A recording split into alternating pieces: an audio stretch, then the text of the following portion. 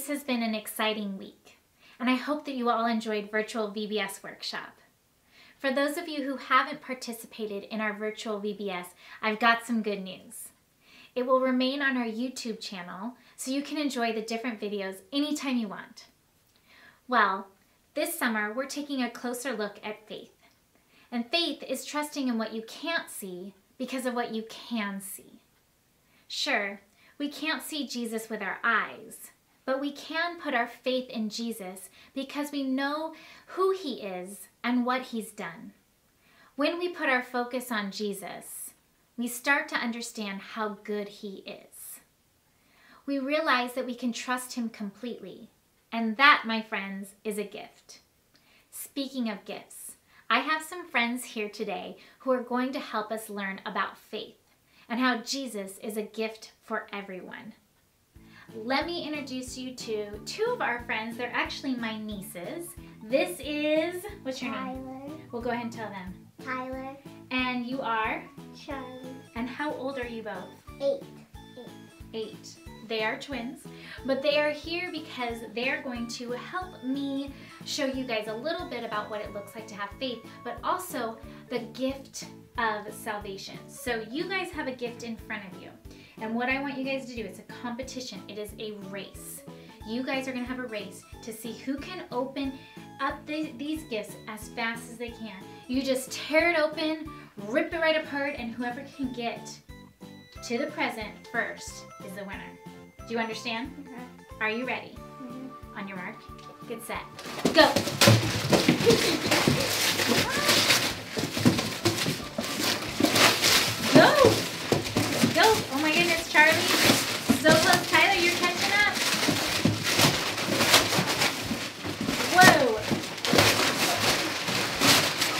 Oh, oh, All right, hold your gift up when you're ready. Alright. Keep going, Tyler, when you're like finished. Alright, hold it on up. Oh, man, you know what? These are not the gifts I was supposed to give you. Oh no. These are for someone else. Okay, okay, that's okay. I have a really good idea. Here's what I want you guys to do. Um, we're gonna change the game. Instead, this time I want you to rewrap the present. And whoever can wrap the present the best so that it looks like no one has ever opened it so I can give it to the real people who it's supposed to go to, they're gonna be the winners. So let's see. So I have some supplies. There's tape, scissors, sticky notes, and now what I want you guys to do, and I will move out of your way, you're going to rewrap these presents. These? Yes, using all the stuff, rewrap it, and make it look like no one ever opened it. Are you ready? Yes. All right, here we go. Time to rewrap those presents in three, two, one, go!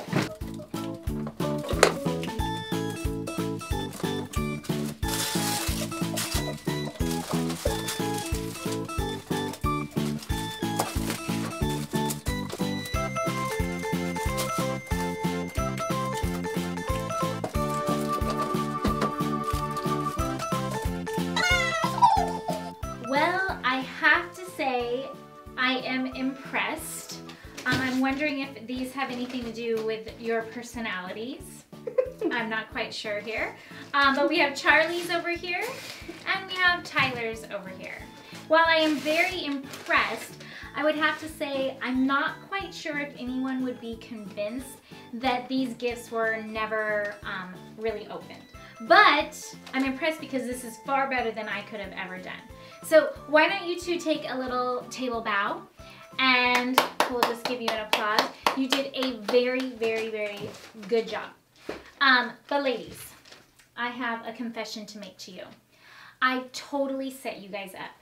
This wasn't a real game. And these gifts aren't for anyone else. I thought that this would be a good way to show all of our friends out there how Jesus is a gift for everyone. How we all need, um, we all need him as our savior and how Jesus rescues us. So let me explain. Sometimes we feel like we have to fix things when we've when when we've done something wrong. So we don't ask for help and we don't let God fix anything. We try to fix it ourselves.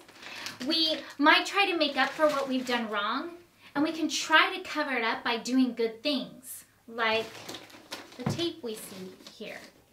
Or we can even try to hide it from others. And we can try and do a lot of good things to make up for the bad things we've done. But the truth is, none of none of that makes the bad things go away. And as you can see, we had a perfect gift before. No matter how much we tried to fix it, it's just not the same, right? Mm-hmm. And that's why Jesus, God sent Jesus. You don't have to do everything perfectly, even though we try, right? God loves you and accepts you no matter what you've done or will do. You can't work to earn his love. See, everyone messes up and everyone, it's easy for us to think that everyone else seems better than us, but they aren't. We all mess up and make mistakes. And that's why God gave us the best gift ever when He gave us Jesus. Let's go to the Bible now and take another look about what Paul um, did and his story. Let's pick up where we are in God's big story. We're talking about what happened with the people who believed in Jesus after Jesus died, came back to life, and went to heaven. We've talked a lot recently about a man named Paul, who was also called Saul. Now, Paul traveled around and shared the good news of Jesus everywhere he went. Paul traveled around and shared the message of Jesus with people all over the place.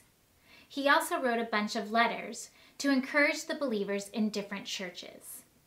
Many of his letters became books of the Bible, and one of Paul's letters was to the people of Ephesus.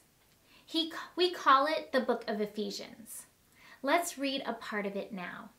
Let's take a look at Ephesians chapter 2, verses 8 through 9. And it says, God's grace has saved you because of your faith in Christ. Your salvation doesn't come from anything you do, it is God's gift. It is not based on anything you have done. No one can brag about earning it. Now, I bet the Ephesians really needed to hear that. I know I do. You see, we all mess up. We all do things that we're not supposed to do. We all fail at things and we all make mistakes. And that can really make us feel crummy sometimes. When we look at the people around us, that can make us feel like we've messed up. We think, I wish I could be more like him, or she always does everything perfectly. Let's take a closer look at the beginning of that verse. It says, God's grace has saved you because of our, your faith in Christ. Your salvation doesn't come from anything you do, it is God's gift. So let's stop there. Salvation is God's gift. That means that when we put our trust in Jesus, God forgives us of all the wrong things we've done and will do. When we put our faith in Jesus, we believe that He died on the cross to pay the price for our sins. He paid the price for every single sin we have already committed and every sin we will ever commit in the future. Jesus did all of the work of paying for our sins. We didn't do anything. That means that there's nothing we can do to earn God's love. And there's nothing we can do that will cause Him not to love us. Jesus paid for our sin and made us right with God. And that is a free gift. Jesus is a gift for everyone. He fixes the mess we've made and turns it into something beautiful. Of course, as we follow Jesus, we're going to mess up. When we do, we can say we're sorry and accept God's forgiveness that we have through Jesus. We should always try to live the way God wants us to. We should try to make the right choices, the wise choices. And we should try to treat people the way we want to be treated. We should um, always do our best to treat others with love and kindness. But when we don't do those good things just to earn something, We do those good things because we already know how much God loves us.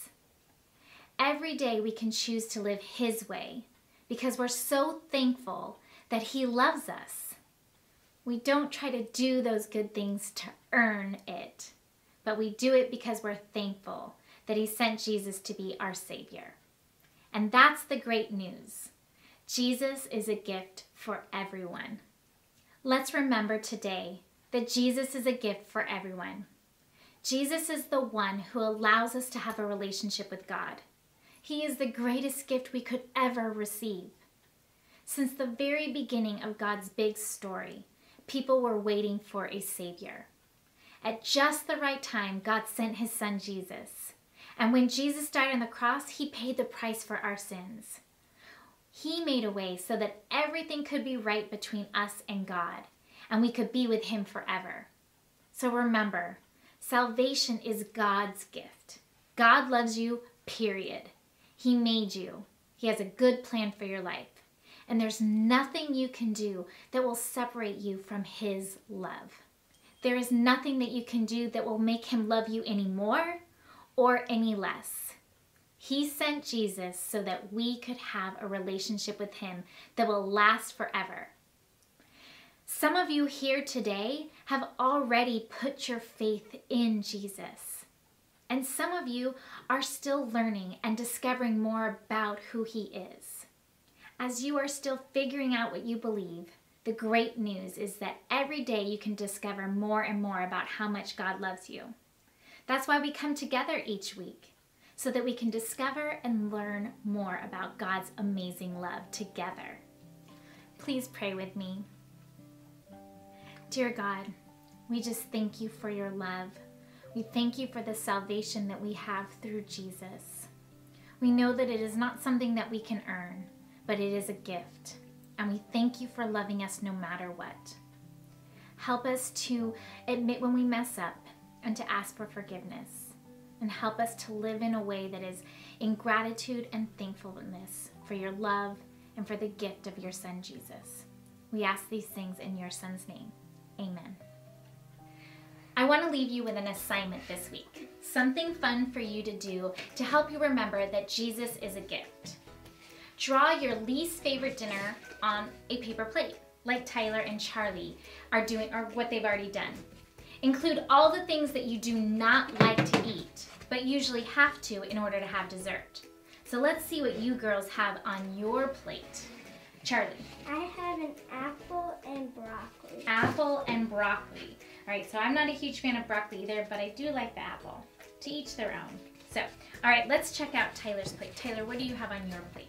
Broccoli, circle peas, and long peas. And salad with tomatoes on it. Mmm. So uh, I noticed that you have a lot of green things on your plate. So maybe the greens are gonna be like for some of you guys, greens aren't your favorite things, but you have to eat them in order to have dessert. All right, when you're done drawing on your paper plate, think about this. This week's verse talks about grace. Grace means that God forgives us even when we don't deserve it. So what does grace have to do with dinner? Imagine your mom or dad serves you all of your least favorite things for dinner. Grace is like not eating this dinner and still getting dessert. Grace is given to everyone who puts their trust in Jesus, no matter what they've done. It's a gift. All right, well, I hope you have fun, and I can't wait to see you all next time. Bye. Bye.